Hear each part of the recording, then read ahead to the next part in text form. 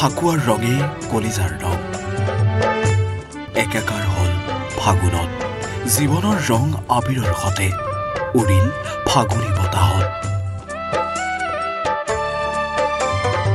মাজত মাত্ৰ এটা দিন।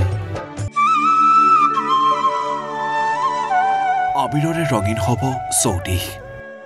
ৰঙীন স্পৰ্শই কাঢ় কৰিব ভাতৃত্ববোধ। আবিৰৰ খেলা কৰিবলৈ চৌদিশে পাৰ ভঙা উচা। ফাকুৱা মানেই যেন বৰপেটা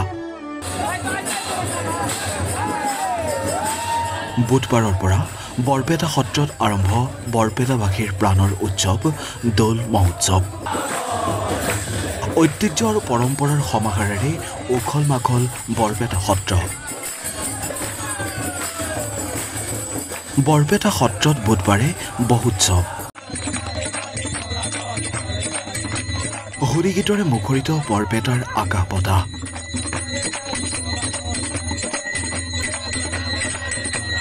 হোলীগীতৰ মূৰ্চনাত মতলীয়া বৰপেটাৰ প্ৰতিজন ডেকা।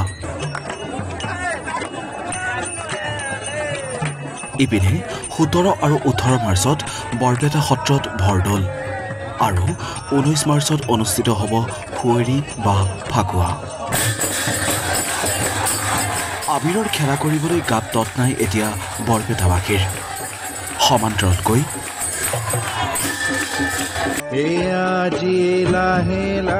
ব্যতিক্ৰম নহয় ঢকুৱাখানাৰ ঐতিহাসিক বাসুদেৱ থান নৰোৱা সত্ৰ।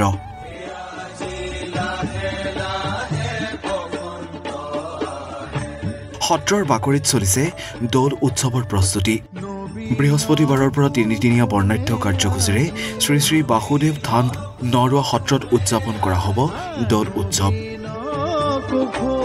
তাৰ সমান্তৰালভাৱে সত্ৰ চৌহদত এক বিশাল মেলাৰো আয়োজন কৰা হ'ব। ভক্ত অগণন ভক্ত আহে। কোনো নিৰ্দিষ্টতা নাই। এটা সময় আছিল নেপালৰ পৰা অহা যাত্ৰীৰ সত্ৰখন ভৰি আছিল। এতিয়া ৰাস্তা পদূলি ভাল হ'ল। যাতায়াতীৰ সুচল হ'ল। গতিকে বিভিন্ন স্থানৰ অসমৰ বিভিন্ন স্থানৰ পৰা অহাৰ উপৰিও ভাৰতৰ অন্যান্য ৰাষ্ট্ৰৰ ৰাজ্যৰ পৰাও এই বিভিন্ন যাত্ৰীৰ ফাকুৱাৰ উপলক্ষে সমাগম হোৱা দেখা গৈছে। এনেদৰে এতিয়া ৰাজ্যৰ ভিন্ন প্ৰান্তত প্ৰাণৰ উৎসৱ ফাকুৱাক আদৰাৰ বাবে প্ৰস্তুতি প্ৰায় তুংগত। বীৰৰ সহযোগত news desk report Ishan news. Nabin কুখুমে আজি।